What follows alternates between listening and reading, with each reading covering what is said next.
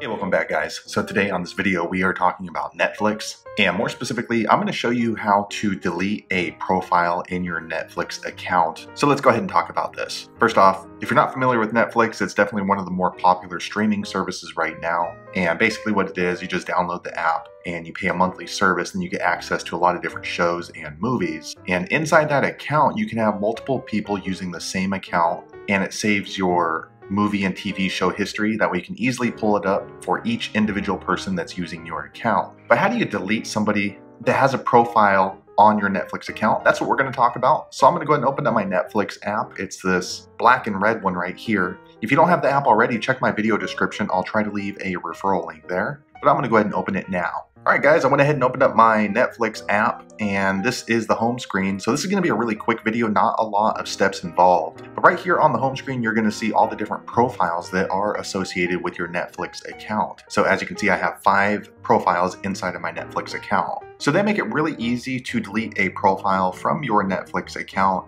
And all you want to do is click this edit button here on the top right. I'm going to click there now. All right, once you click there, then you get to choose which account profile that you would like to delete. So for me, I created this fake account right here, delete this. I'm gonna go ahead and click on that profile inside my Netflix account now. All right, next you're gonna see this and it's gonna give you a couple of different options how to handle your profile inside of your Netflix account. But if you wanna go ahead and delete this particular profile from your Netflix account, click on this delete button down here. It looks like it has a little trash can icon next to it. I'm gonna click there now. All right, next you're gonna get this pop-up asking you to confirm if you would like to delete this profile from your Netflix account. So if you are sure of it, make sure that it's the correct profile. If so, go ahead and click yes. I'm gonna click yes now. All right, just a few seconds later, my home screen pops back up on my Netflix account. And as you can see, the profile on that Netflix platform has now been deleted. So I only have four profiles in my Netflix account, as you can see now. So you can go ahead and continue deleting profiles from your Netflix account. If not, go ahead and just click continue up here. And then here you are back on the home screen for your Netflix account. So there you have it. That is how you can delete a profile from your Netflix account. If you know an easier way, be sure to leave a comment below. Let the rest of us know.